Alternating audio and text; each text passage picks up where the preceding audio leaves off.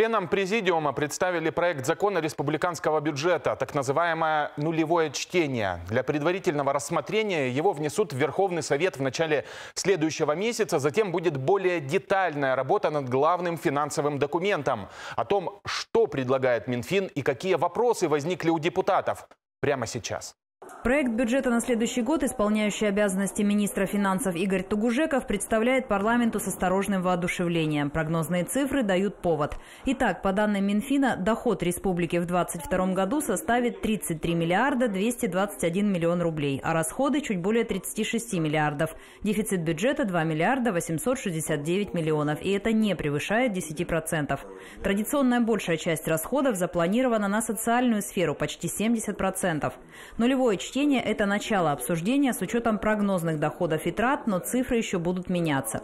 Один из ключевых вопросов от депутатов – а будут ли сохранены и увеличены объемы социальных выплат, в частности, на поддержку льготников. Ну, пособие на детей увеличивают. Пособие, да, пособие на детей, также увеличение и полагается и муниципальным служащим, и государственным служащим.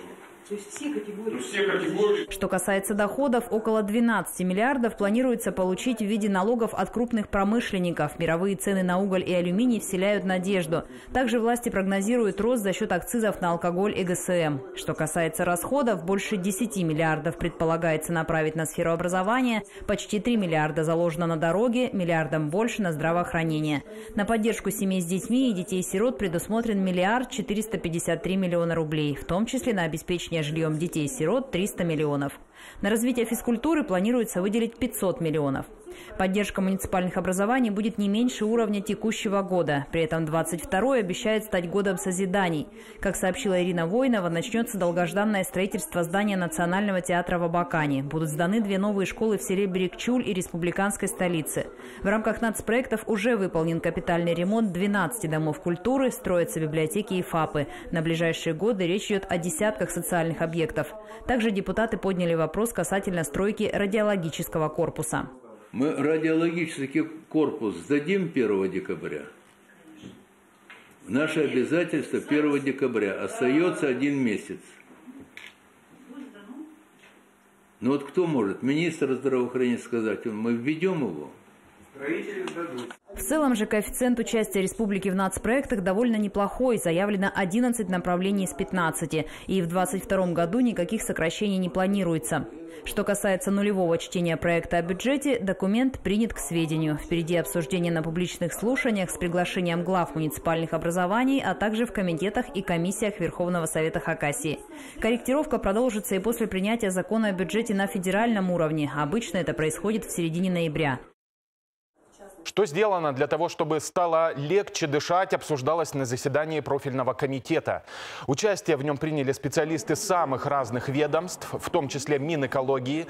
Его представители предложили обязать предпринимателей, чьи помещения расположены вблизи теплотрасс, подключаться к централизованному отоплению, а не использовать локальные средства обогрева. Это, по их мнению, позволит снизить уровень загрязнения воздуха.